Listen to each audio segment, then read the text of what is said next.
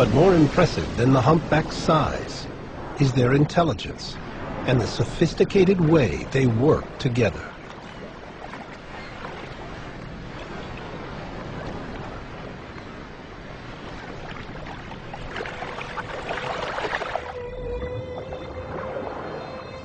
The hunt begins as the whales dive beneath a school of herring, emitting high-pitched calls.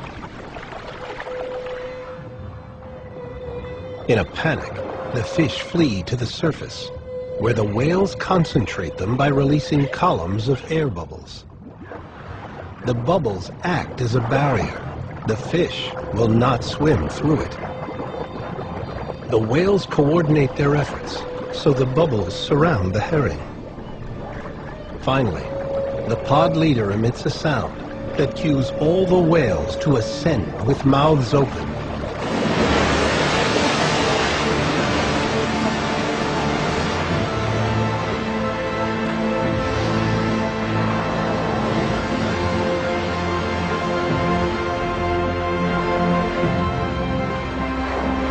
Humpback can eat a ton of herring a day this way.